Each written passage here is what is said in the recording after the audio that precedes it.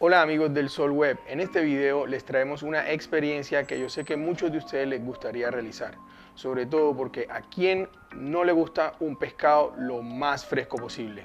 En esta aventura, acompañados del chef del muelle, uno de los mejores clubes de playa de Cartagena de Indias, y unos amigos, fuimos a pescar a mar abierto. La pesca estuvo buena y con uno de los dorados que pescamos preparamos un ceviche con una leche de tigre y alcaparras un pico de gallo que quedó nojada. Ya se los vamos a mostrar.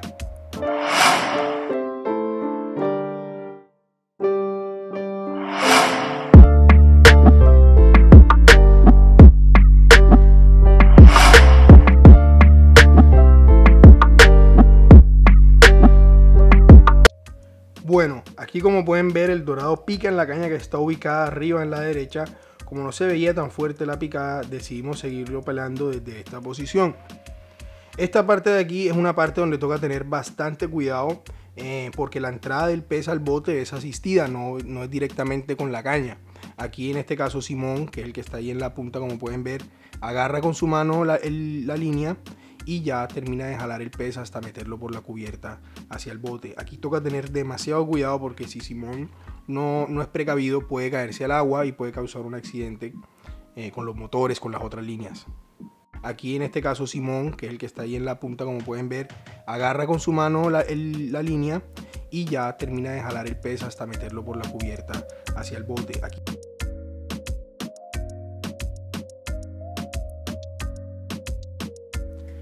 Para que el pescado sepa bastante bien, lo mejor es limpiarlo y desangrarlo lo más pronto posible. Es el proceso que ahorita mismo están viendo, donde lo abrimos por dentro, le sacamos sus vísceras. Eh, ahí podemos observar, por ejemplo, muchos que, han comido, muchos comen crustáceos, cetáceos, eh, calamares. Eh, también vemos que encontramos huevos de pescado ahí, son deliciosos. Y hacemos este proceso de desangrado para, para que la carne y la proteína se conserve bastante bien.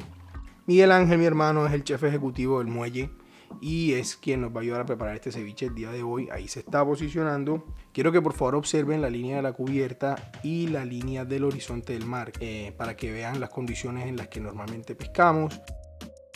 Bueno, aquí podemos apreciar cómo Miguel comienza a abrir el pescado por el lomo. La idea es que esto lo haga una persona que tenga buena técnica para que la proteína salga lo más perfecta posible y se utilice al máximo de la carne del pescado. Eh, ahí pueden ver que él está pegando el cuchillo bastante a la espina dorsal del pescado para retirar la mayor cantidad de carne en el filete. Este chico no se aguantó y quiso darle muela de una vez al pescado. Bueno, la mejor manera de cortar el pescado para un ceviche es en cubos. Esto hace que la textura de la proteína se conserve eh, incluso después de la marinada.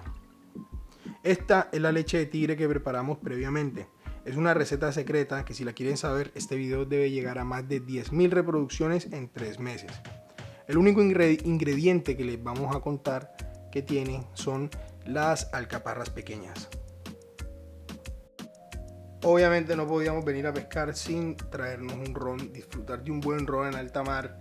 Eh, espectacular. El ron era la bebida de los piratas y de los marinos porque era muy económica en ese tiempo. Además porque decían que los eh, prevenía de enfermedades como el escorbuto, la gripe y el estrés que vivían en el agua. Eh, también era usado como antiséptico cuando estas personas tenían heridas para limpiarlas y poder proceder a hacer procedimientos quirúrgicos en el bote. Entonces, bueno, aquí un roncito con los amigos.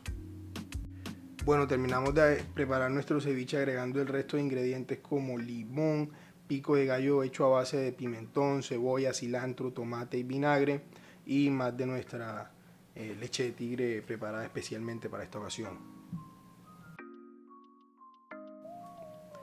Ahora sí lo que todos estábamos esperando, la comelona, un ceviche de dorado que 30 minutos antes estaba nadando por las aguas del Bajo de Nocomis, que fue donde lo capturamos nosotros, eh, preparado por las manos del chef ejecutivo del muelle, Miguel Ángel Ramírez, y eh, no cabe duda que estas son el tipo de experiencias que enriquecen la vida. Eh, poder disfrutar de un pescado, de un ceviche recién pescado, es algo único. Eh, son recuerdos inmemorables para vivir con los amigos y con la familia. Durante esta pesca se engancharon varios atunes y unos maji maji. El maji maji también es conocido como el dorado Este se encuentra normalmente en aguas tropicales, subtropicales y templadas en todos los océanos del mundo.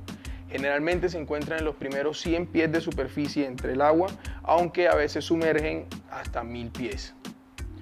Este tipo de pesca es una actividad muy divertida, aunque siempre involucra un alto grado de responsabilidad y atención, sobre todo destreza, ya que siempre hay un alto grado de peligro eh, cuando estás en mar abierto, en un bote, cuando las líneas están tiradas y te caes al mar puede ser bastante peligroso, eh, el oleaje y estás desconcentrado y una ola puede hacer un movimiento brusco en el bote y hacer que te salgas.